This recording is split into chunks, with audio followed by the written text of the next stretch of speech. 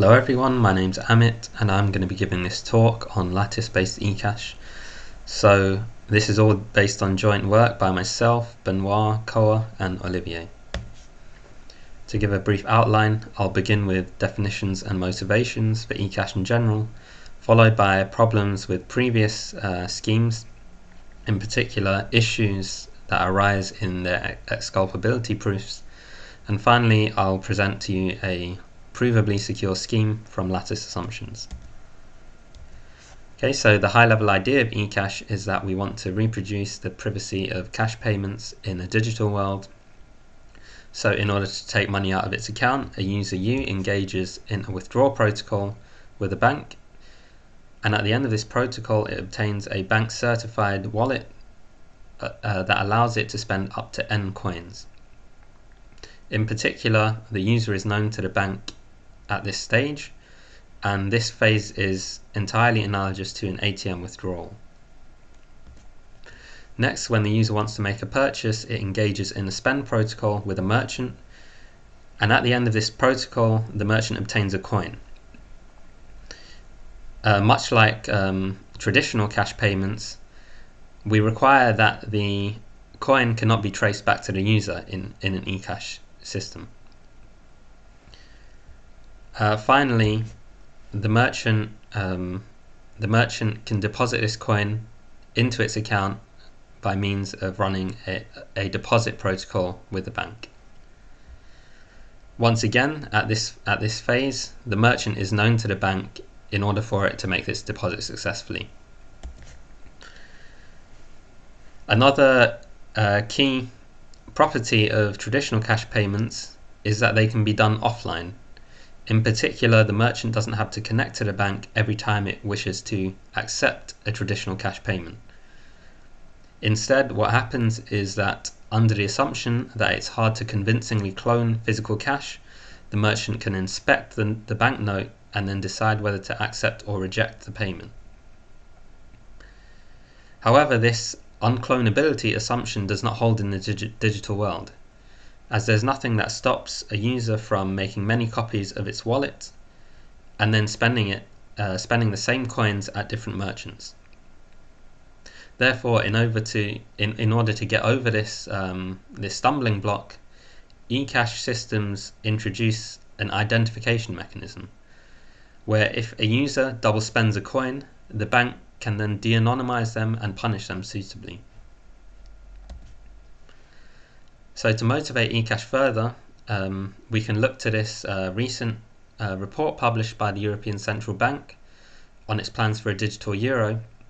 And what we see is many property desirable properties highlighted. So guided by this, uh, this extract, it's interesting to compare the properties of eCash with the properties um, that cryptocurrencies tend to give you. So a first point of comparison would be to ask whether offline payments are supported. So for eCash, the answer is yes, as I just described, whereas for cryptocurrencies, merchants tend to need to um, connect to some central ledger in order to accept payment. On the other hand, um, we can ask whether uh, the system is decentralized. Well, for eCash, the answer is um, no. So there is a single bank or a single central authority overseeing the system, whereas for cryptocurrencies, well, these can be decentralized, um, and many of them, in fact, are. Next, in terms of anonymity, eCash comes with um, anonymity built in by definition, whereas cryptocurrencies tend to offer varying degrees of anonymity, some of which are just simply pseudonymous, whereas others give uh, stronger guarantees. However, uh, it can be the case that there's some extra leakage given by this by transactions published on the central ledger in the case of cryptocurrencies. And finally, we have the question of compliance with legislation. So as I mentioned before, eCash um, uh, shares a transaction flow with traditional cash. In particular, the bank knows who users and merchants are at the point of withdrawal and um, and uh, deposits. Whereas for cryptocurrencies, uh, the model is slightly different and it's not clear at all whether that you get the same compliance guarantees in the cryptocurrency setting, particularly in the privacy preserving ones. Okay, so um, before we move on to the definition, I'll overview the literature. Uh, starting from the seminal work of Kamenisch et al. in from Eurocrypt 2005, many eCash schemes um, essentially borrow and extend techniques to to build eCash schemes with perhaps uh, more flexible properties. Um, and but the main point I want to make in this overview is that following the work of Bourse et al. from AsiaCrypt 2019, uh, which I'll refer to as BPS 19, all of these proofs have um, an issue in, in the proof of exculpability. So the exculpability property for these all of these eCash systems doesn't provably hold. So BPS 19 actually uh, fixed all of these schemes by proposing a new uh, a new sort of eCash formulation. However, their their uh, construction is only shown to be instantiable in the sort of number theoretic and pairings setting, leaving the question of provably secure lattice eCash open.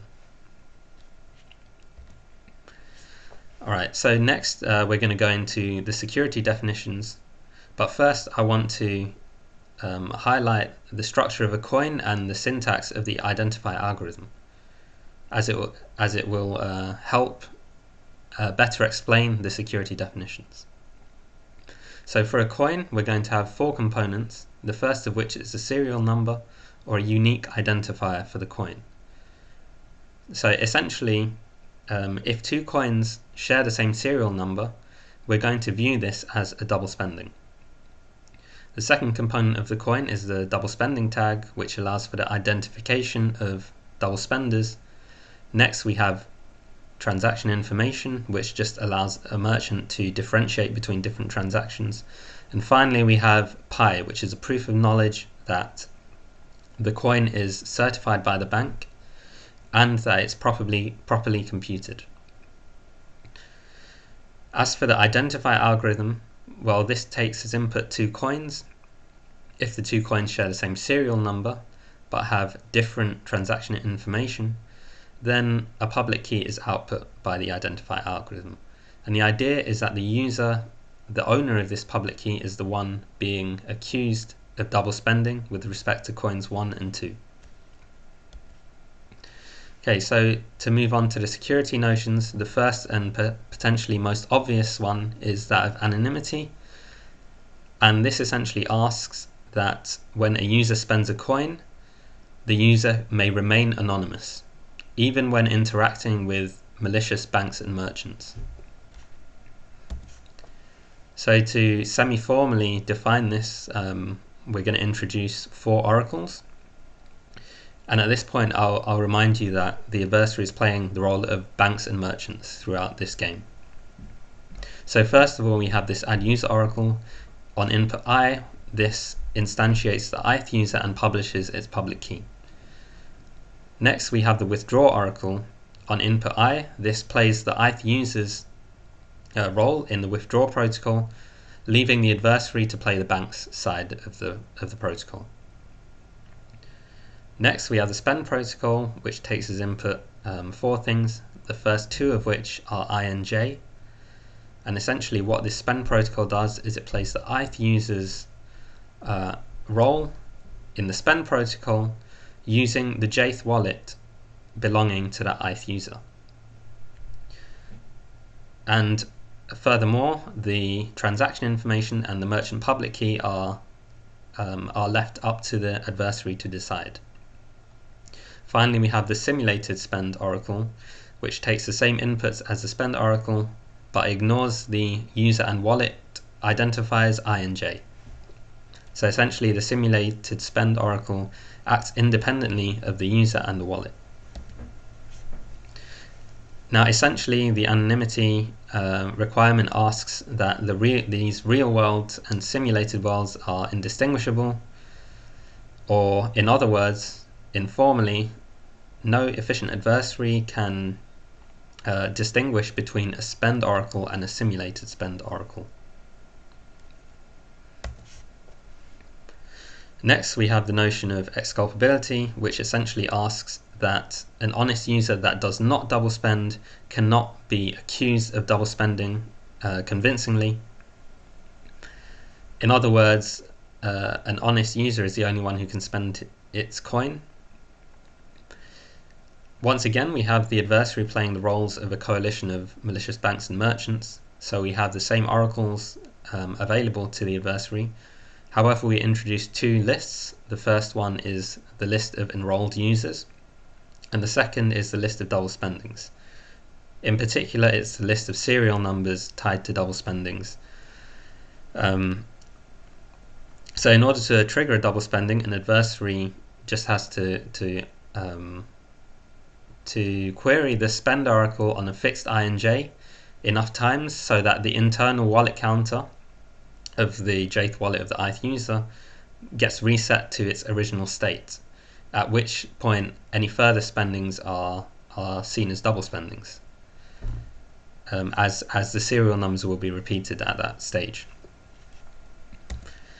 So the security game goes as follows. The adversary gets some public parameters and outputs a bank public key. It then interacts with the three oracles and outputs two coins. We say that the adversary wins if the identifier algorithm on input the two coins points to an enrolled user, but the serial number isn't in the list of double spendings. So in other words, the adversary has successfully um, framed one of the user users of double spending, and it importantly it didn't use the coins that it obtained in spend queries.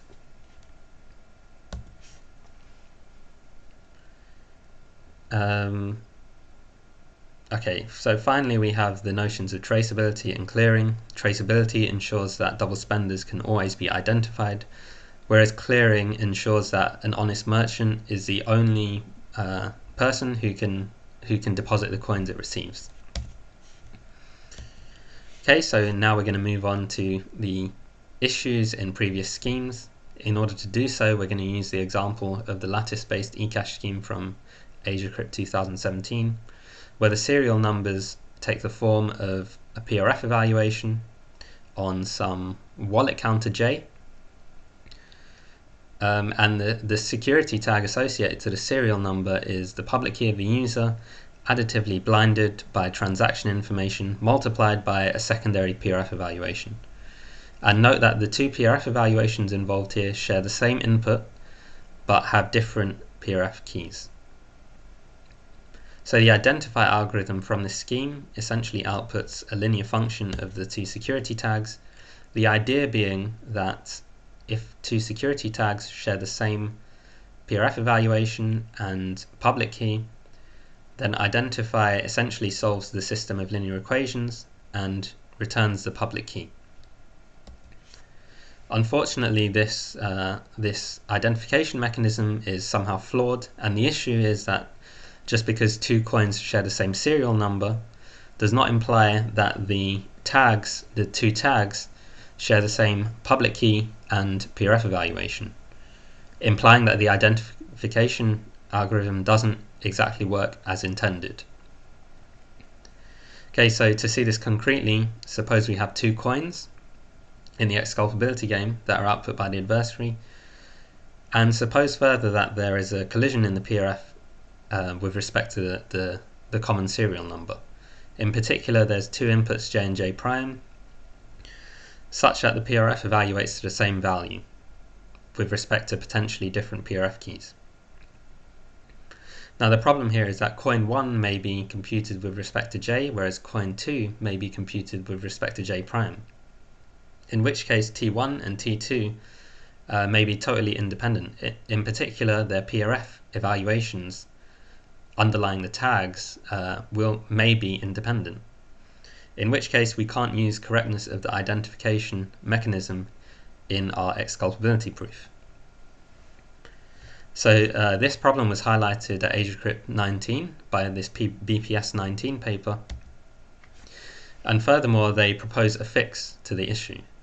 And the fix is to adapt the serial number and tag construction and use collision resistant PRFs. But unfortunately, it's not known whether the zero knowledge compatible lattice PRFs satisfy these collision resistance properties. So a natural question is to ask whether there's some alternative construction of eCash where security can be based on lattice assumptions. So this is uh, what we investigated and I'm going to now present the secure alternative. So we're going to be using the, this primitive of lossy trapdoor functions or LTFs. For the purposes of our talk, um, all LTFs allow us to do is sample matrices in two different modes, the first of which is lossy mode. And the idea of lossy mode is that um, that uh, a matrix, a lossy matrix A, essentially um, compresses the input. So so when you multiply it, when you uh, do A times the input space, you get a much smaller space. In other words, multiplication by a lossy matrix is many to one. Whereas in injective mode, what you end up uh, getting is a matrix along with a trapdoor tau. And what this trapdoor tau allows you to do is it allows you to invert matrix multiplication by an injective matrix. And importantly, um, LTFs ask that lossy matrices are independent, uh, are, sorry, indistinguishable from injective matrices. So we're also going to use the leftover hash lemma and in the traditional lattice setting this essentially states that a wide uniform matrix U multiplied by a uniform binary vector X is statistically close to uniform. And what's more, the generalized leftover hash lemma says that even if you reveal some lossy leakage on X in the form of A times X, where A is lossy, we still get that u times x is statistically close to uniform. In other words, the leftover hash lemma holds even when given lossy leakage on the vector x. So now we're ready to um, describe our, our new coins and each coin is going to use a single PRF evaluation denoted by y. Serial numbers are going to have two components now uh, the first component is going to be A times Y, where A is a global public matrix. The second component is going to be the public key of the spender, additively blinded by U times Y, where U is a wide uh, global matrix, so U is also part of the public parameters. And finally, the security tag is going to be the public key of the spender, additively blinded by the product of the transaction information and U prime times Y where U prime is also a wide matrix and is part of the public parameters. The idea behind this construction is that um, if the, the lossy trapdoor function matrix is sampled in injective mode, then we have the guarantee that collisions in serial numbers imply collisions in the PRF value and the public key. To see why, simply invert the first component of the serial number to find y, then use this to recover the public key from the second component of the serial number. So in other words, if two serial numbers collide, then the, the two security tags have the same PRF evaluation and public key. So now I'm going to overview the exculpability proof and in order to, before getting into this, uh, we need to discuss what public keys look like well, secret keys are going to be uh, uniform binary vectors, and public keys are simply going to be some public matrix F times a secret key, modulo Q. So the exculpability proof essentially says if there's an efficient adversary winning the exculpability game, then we can solve SIS efficiently. So suppose our SIS input is F, well we're going to place F in the public parameters and sample the public matrix A in injective mode. Then we're going to easily simulate, um, easily and perfectly simulate the add user withdraw and spend oracles for the adversary up to the point at which it returns two coins to us. And let's suppose that the two coins are um, are consistent with A winning the exculpability game. In particular, they share the same serial number, which means that the same public key and PRF evaluation underlies the two security tags. And in turn, this means that the identification procedure returns that public key underlying both security tags. Now, since this public key belongs to an enrolled user, we know a secret key underlying it. So let's call this this uh, vector e star. Um, next, since the serial number was not in the double spending list, one of the coins is not the result of a spend oracle query. So let's suppose that coin 1 is not the, the, the result of a spend oracle query. Well, what we do next is we use a knowledge extractor on Pi 1 to find a secondary secret key E prime underlying the public key. And essentially what we see is if E star and E prime are not equal, then we've solved the SIS problem with respect to F.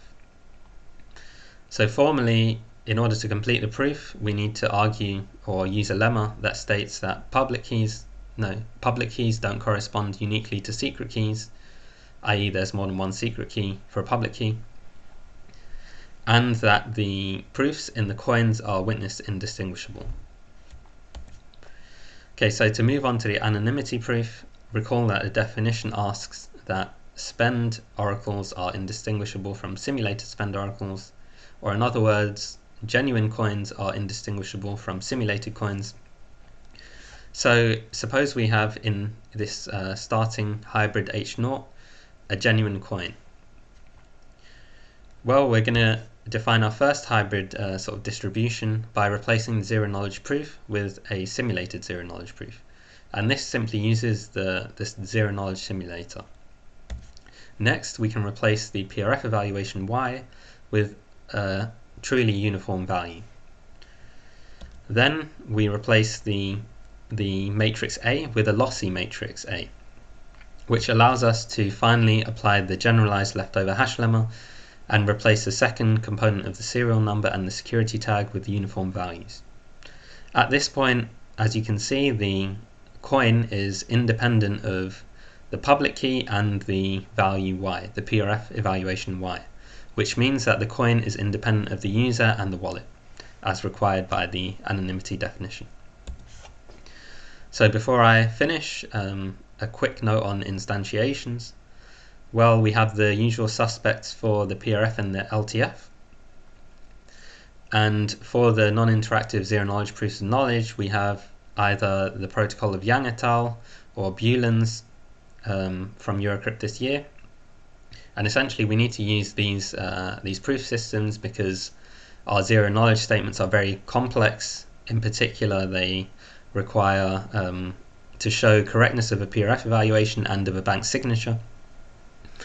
So in order to, to use these with uh, without interaction, or in order to achieve non-interactivity, we simply use the Fiat-Shamir transform, which essentially means our security proofs are in the random oracle model. So a final note here is that under a, a suitable choice of instantiation, all moduli can be taken to be a low degree polynomial in the security parameter and all dimensions can be taken to be uh, quasi-linear in the security parameter. So to conclude, we've constructed a secure eCash outside of this BPS framework. However, con concrete efficiency for our scheme is still quite poor, so a natural question is whether we can improve this by making our zero knowledge statements uh, shorter or making zero knowledge proofs more efficient. And finally, we have another open question asking whether we can instantiate the BPS 19 frameworks in the lattice setting. So in order to do this, we would need to come up with some zero knowledge compatible lattice PRF that has strong collision resistance properties. So that's the end of the talk and thanks for listening.